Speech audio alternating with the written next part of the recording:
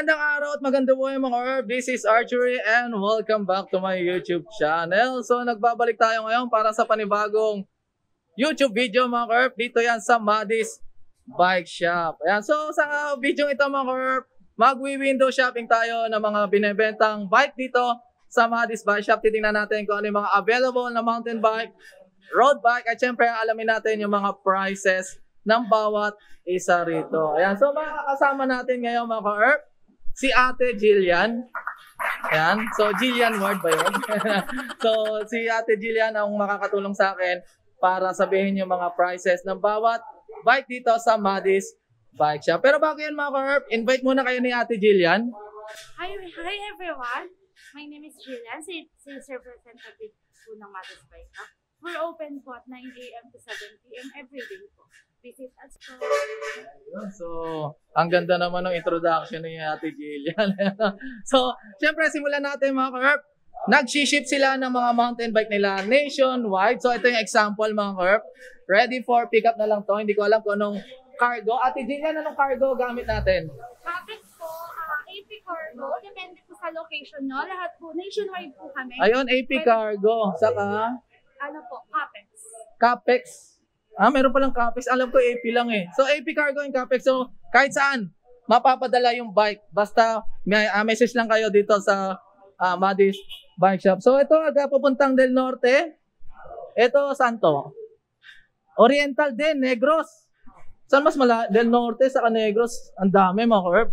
Yan, so, pili na lang kayo. So, dito mga curb, tara. Ate Jillian. So, ito mga curb, simulan natin dito.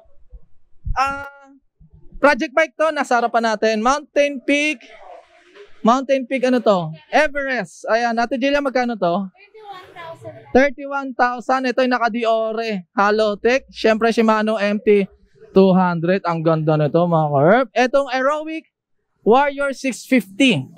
10.9 mga karp. Ito ay naka L2A7 at naka NAT na hydraulic disc brake. Ayan, ang ganda nito mga karp. Siyempre, dito tayo. Ito, mga karp. Pinewood Veyron.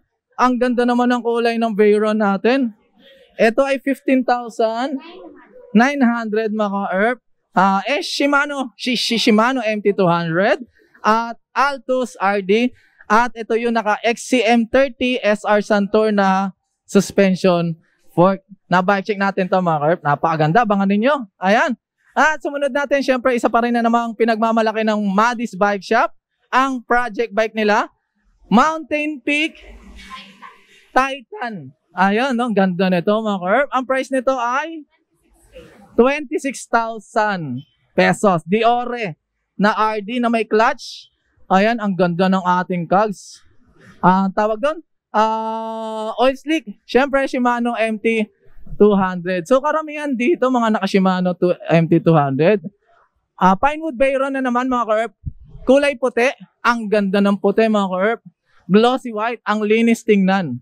Ayan, 15,900. Ayan. At isa pa ring project bike. Ah, may project bike sila doon mga ka Kaya lang hindi pa siya ah, tapos. Ayan, yung Sagmit. Hindi pa siya tapos kasi wala akong nakikitang RD saka kadena. Pero aabangan ko to. Ang ganda ng Sagmit na yon. Okay mga ka Promise. Yan. So, pasok tayo. By the way, highway mga ka kung bibili ka ng mga bike dito, lahat yan, kahit alin dyan, pwede kang pumili ng helmet kasi free vision, helmet, ah jersey, ah ano pa, ilaw, mga ka chain guard, cage. Ayan, so yun yung mga freebies. Sa bote. Bote, yun, bote. Yan no, ang ganda, daming freebies. Panalo ka na sa bike, panalo ka pa sa freebies. Ayan, so dito tingnan natin. Totem Flex. Ate Jillian, magkano sa Totem Flex? 9.4, so budget to mga karp. Logan, ayan, preno to ni Wolverine. ah, tingnan natin yung kanyang RD. Ang RD niya ay Shimano 8-speed. Ayan mga karp, ang ganda. Anong Shimano tong 8-speed na to, Ate Jillian? Tingnan natin. Shimano Tourney, mga karp. Shimano Tourney na naka 3 by 3 by 8. Next, siyempre, Pro Max PM17. Walang PM send. Basta PM17 yung Pro Max. L2A3 na naka 2468 8 speed. Ayan, L2A3. Ang price nito, Ate Jillian, is? Tingnan natin. 7,500. So, budget na budget na mga curb. Naka-mechanical disc brake. Ang Pro Max PM 70. At ang sunod natin is from the logo pa lang. Kilala ko na mga curb. Totem. Totem. Anong totem to? Hustler. Master. Ayun, Totem Master. Naka-hydraulic brakes na Logan. Siyempre, naka Shimano Tourney na RD 8 speed. Ayan, kita nyo naman. Ang price nito, Ate Jillian, is 9,600 pesos. Ang gaganda ng bike dito. Tosik. Tosik Roadster. Siyempre, naka Simmers na hydraulic brakes. At Sensa. Uy, 12 speed ba to? Oo nga, panalo. Ayun, Ragusa ang ating hubs. ARX. 12 speed nga to mga curb. Magkano sa ganito, Ate Lilian? 16,000. 6,000 16,900. Ah, naka-air shock pala siya. Na Oding. Ayan. So, hindi ko alam kung may buy check na ako nito, pero check natin. Tapos pag wala, iba-buy check natin to mga curb. Next natin is the Rich Cross. Isa sa mga ka- isa sa mga kauna-unahang bike na na-buy check ko. Camros na hydraulic brakes. At Ismac MX-10 na RD. So, 10 speed yan mga curb. Tapos, naka-hollow, ay hindi, square tapered na 3x. Ayan, magkano sa ganito, Ate Gian? 10,200 pesos. Ayan, sunod natin syempre ang Totem Musketeer. Ang Totem Musketeer natin is 11,900 pesos. Naka, ano to, square tapered. Then, Shimano Alivio na RD. Ayan, kita niyo mga carp. Oh, di ba? Ang dami niyong pagpipilian. At dito muna tayo. Ah, ganun pa rin to, Tirich Cross. Tapos, ano to, limit. Not available daw to mga carp. Ayan. Totem ulit tayo. Ma- master. Totem Master ulit. Totem, Totem Cruiser. 9.6 ang dating Totem Cruiser. Logan. And Shimano Tourney na RD. Ayan mga karpo. 8 speed. Oh, ang ganda. Promise. Dito sa Sunpeed Mars. Ayan, Sunpeed Mars. 27,700. 20 27,700 pesos. Inaabangan ko mga ka-ARP yung ano eh, Sunped Pars. Kasi puro Mars na lang eh. Dapat meron din Pars. Di ba? Para may par eh, may Mari ka na. Ayan. Sunped Kepler. 24,500 pesos. Yung Mars natin mga ka-ARP is naka Sora. Sora Halotech. Ayan, nakikita natin. Tapos itong Kepler natin, tingnan natin kung ano yung RD. Yung Kepler natin, Claris.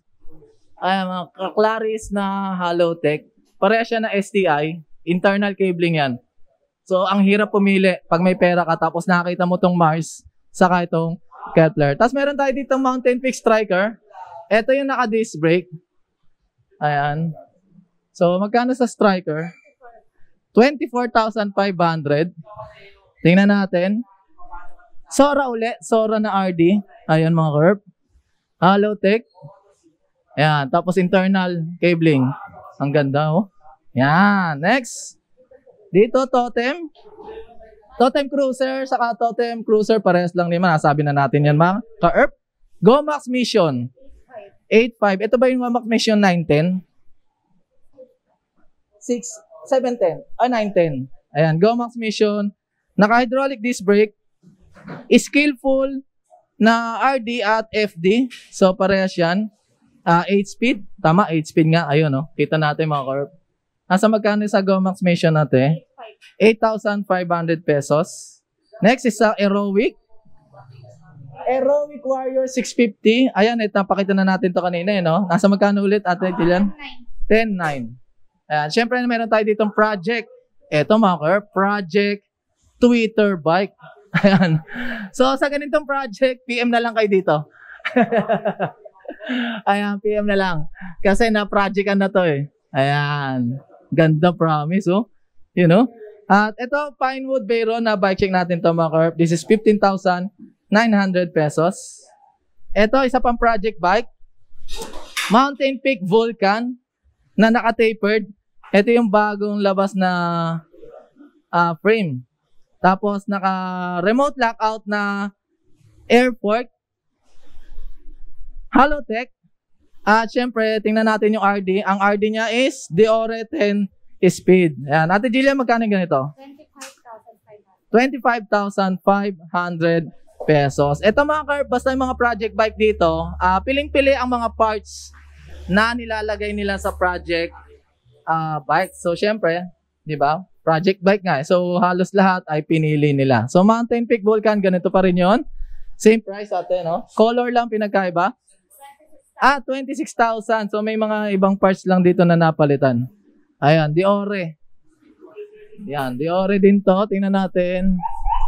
And ah Shimano MT200 hydraulic this one. Speed 1 na hubs, ayun, speed 1. Pero dito naka ah anong hubs to? Dito to to to. Max zone to, max zone. Tama, is max zone to tapos ito speed 1. At dito sa kabila Vulcan pa rin. Tingnan niyo naman yung mga hubs niya mga korpo. So sa ganitong presyo Ate Jillian, Same lang. same lang din. Yan, so basta project bikes mga corp, talagang piling-pili ang mga parts na nilagay nila yan dito. So marami marami marami nabubulol tayo. Marami pa sila ditong parts. Ayan kita nyo. Yan. Okay, so yan ang ating price update dito sa Madis Bike Shop. Ayan, so thank you, thank you Ate Jillian. Ate Jillian, baka meron kang gusto i-shoutout? Wala po. Ayan, so maraming salamat Ate Jillian. So hanggang dito na lang mga Corp ang ating video. Ay, by the way, highway mga Corp. Meron nga pala sila ditong full-time mechanics. So anytime, ah pwede kayong pumunta rito. Ayan, oh. so invite mo naman sila, kuya. Hello mga kaibigan. Ako nga pala si Orly, mechanic ng dating JNT. Dito na ako lumipat sa Dalandanan. Kaya yun, oh, Madis Bike Shop. Ayan. So kung may hinahanap niya si Sir Orly. Orly, so nandito na daw siya sa Madis Bike Shop. Ayan. Ay, lalo na daw may mga utang sila.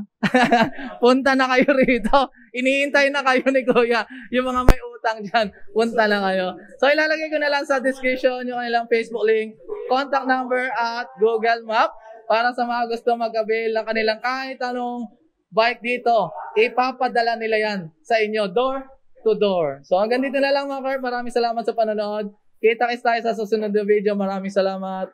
Bye-bye.